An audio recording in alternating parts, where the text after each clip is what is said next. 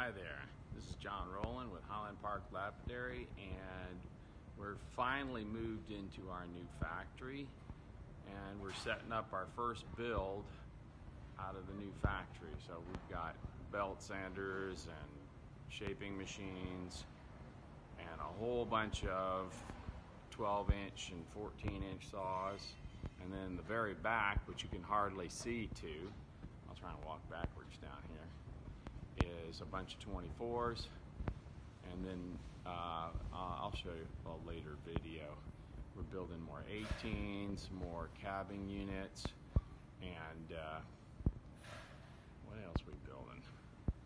Flat laps, um, Model 6s, bunch of stuff. We're really busy right now. So there's a quick peek at the new factory. Got our new floors, which are the nice two-tone epoxy coats. And we got a mega lighting in here so we can see what we're doing.